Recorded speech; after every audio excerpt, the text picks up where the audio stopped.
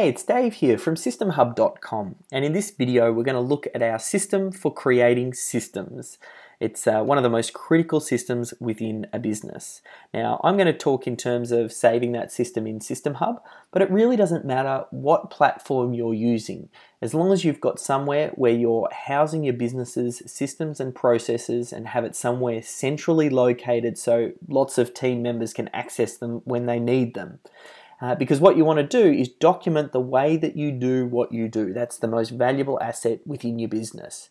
Now, this particular system that I'm sharing is the way for you to extract that IP from a team member. How do we document it and then how do we optimize that? Now, the goal is if any team member follows this system, they can replicate different tasks within their role. And uh, I want this system to be the best example of itself. So you can follow the way the overview is done, you can look at the structure, the formatting, and if you created systems following this standard, you'll have a, the same look and feel throughout your entire organization and makes it very easy for team members to pick up and run with. Now, I believe it's the responsibility of every team member within an organization to be documenting what they do, looking to improve, and even teach and delegate those responsibilities down to other team members. That's how a business improves and the efficiency gets better. That's how team members can grow onto higher levels of duties and tasks and move up in an organization. So it really should be the cornerstone of a business. Now, if we jump into the steps here, we're just going to run through all of the steps and I'm going to explain the bullet points as well and just give you a little bit of uh, further information. So the first thing is um, step one, you need to identify the result that you're looking to deliver or have that system deliver. So if you are looking to create a system for baking a cake, um, the, the result is a perfectly baked cake. You just want to think about that up front because it'll just make a lot of the future steps very easy because that always aligns us to the objective of what we're looking to do. Now, step two is you need to identify who's going to be the best person to produce that result within your organization. Now, that might be you, it might be someone else, you might hire an external consultant or work with an expert. Um, whoever it is, we just need to identify who that person is. Then, step three, we need to determine the best method of capture for that process. Now, it does depend on the process. If it's something that's online, screen capture software works incredibly well. If it's offline, you know, maybe it's something like uh, opening up a store or fixing uh, a particular piece of machinery or whatever it may be that's going on in your business, you may need to do normal video recording. Uh, or maybe it's auto recording, or if you're working with some sort of external consultant or expert, maybe you do it through the means of an interview. Uh, we just need to identify what is going to be the easiest way for the person uh, who is the expert at doing that particular uh, process and getting that particular result so that they can, next time they do it, we can actually be there with them and have them document it and capture that. So it's it's uh, ideal, I think, if when the task is being done, that's usually we think one of the best times to actually capture it. If the person talks through what it is that they're doing it as they're doing it and why, it makes it very easy to teach. Now, step four is we need to record that task being done. So if required and you're working with someone else, you're going to have to organize a time to get that process recorded.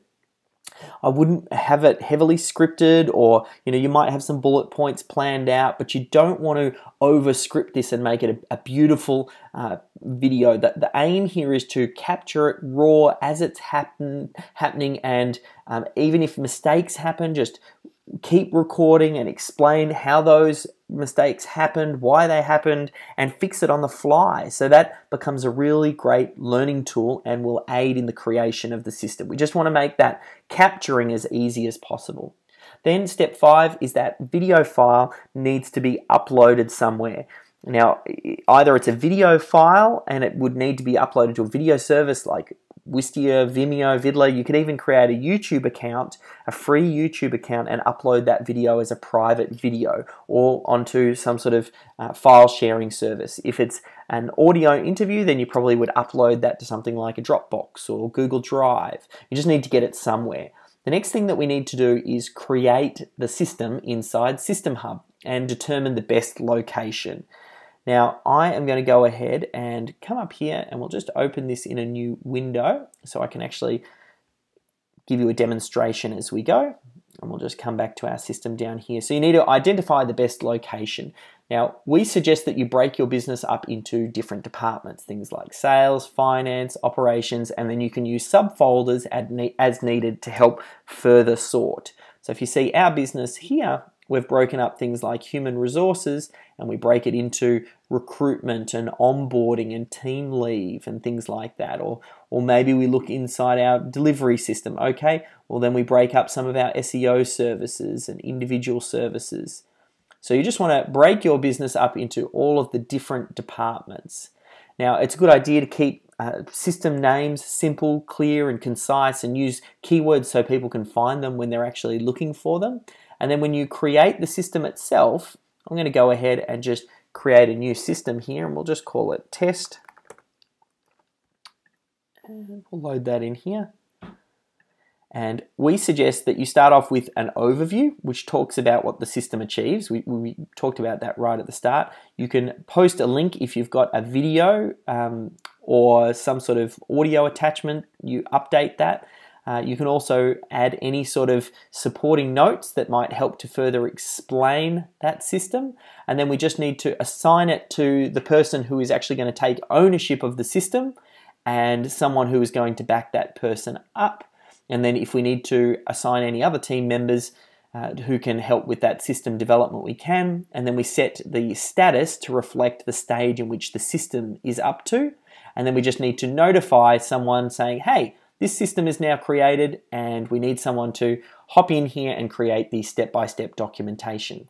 So the way that that would work inside System Hub, now I'm just going to do a little bit of copy and pasting and we'll just copy from our system for creating systems. So you would you know, you might type in your um, your overview here. So I would just go, you know, here is the result we're looking to create. Then we would come down to the video that we've uh, recorded. I would just upload that and drop that straight in here. And once that has loaded, We'd scroll down here. If there were any additional supporting notes, we would just add them in here and we'd say you might also want to watch and check out this system.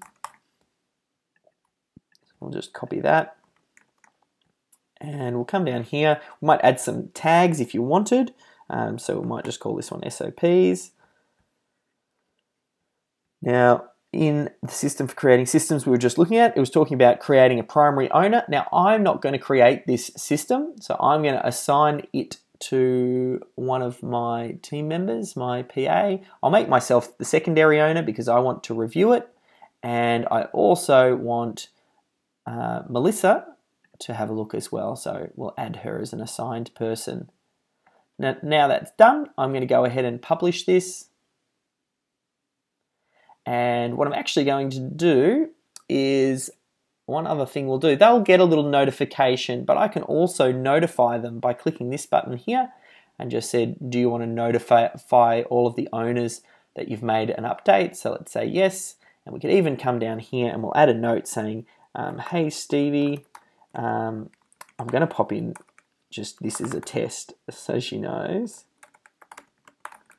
Um, can you please document this system following the system for creating systems? Now, as the business owner or expert, my work is now done. That team member can now be uh, take responsibility for actually creating the system. So step seven is where that new team member would step in and they would create the step-by-step -step documentation. So um, it's to be done by the new primary owner. They basically watch the video as the task is being done. They'll write out the steps one, two, three, four, five, all the way through to completion, and then those get saved directly into the Smart Operating Procedure section. So while looking at my system here, that would just be here step one, step two, step three, and so on. Now, you would also include any additional bullet points, kind of like we've got in this one here, that help to further provide clarification and details. But it should be possible for any team member to come over and just read the main steps and get, uh, without reading the bullet points and still get a good overview of the system. So that's um, it, it should be basically easy enough for someone to quickly scan through and get a feel for it, and then if they want the more detail, they can. Now, if we move down here, all steps should be clear enough to allow someone with a basic understanding of the subject matter to complete that system. So you want to be careful not to um, epically over document or under document. If it's your first time that you're using the system, sometimes just um, writing out the main steps is a good place to start. And then over time, you can evolve and add out those bullet points when you find out where people are getting stuck. The bullet points can be a great way to help overcome some of those issues moving forward. If there's any sort of email templates or documents, you would want to attach that and have those saved in the same place. And if there's any additional information that needs to be added to the SOP, you can add that underneath the supporting notes. So if we're having a little bit of a look here, at least in System Hub, you can see we've got the video down here. We're actually able to add email templates. So we get add an email template here if the system called for it. You know, and you could even just write, hi Bob, check this out. Just hit save, and you can obviously do attachments and things like that. So we'll just come back here. So now that would be done. The next step, step eight, is to review the system next time it's in use. So I'm going to hit publish. Next time that task is done, it's good to uh, review it with fresh eyes and keep the system handy to uh, ensure that all of the steps are covered, nothing was missed, and make any improvements uh, needed. Step number seven oh sorry, step number nine is to then submit uh, that for review and discussion. So once that system owner, the primary system owner is happy, it's a good idea for either a supervisor or to be discussed at a team meeting or to get the secondary owner to have a look. Now I'm going to make one minor tweak here. I forgot to mention as well, you can change the status of this system. I'm going to put it to orange because it's still under construction and you'll actually notice these little dot here, the colors will update to reflect where the system is up to. So we'll just hit publish and we'll come down here. So yes, it needs to be submitted for review and discussion. Now, any reviewers, if they want, they can add comments down the bottom here. So this is looking great, but please modify step seven they can add those in and then those uh, changes can be tweaked and added in by the system owner. Uh, once the system is all correct there, the system status can be changed and marked to green and you can actually notify people uh, that it's ready to use. You can add additional team members. Now, once this is done, it's always good for the system owner to teach someone else. So that's step number 10. Uh, they want to go to who the secondary owner is or another team member who might be doing the task. So in this example, just come back here. In this example, uh, Stevie might come back to me and teach me how to do it or another team member how to do it just to make sure that it was all covered off.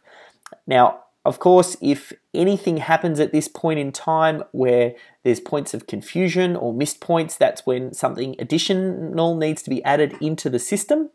Um, it's also good, our process for teaching someone how to do something is step one, it's always good to do it with them first.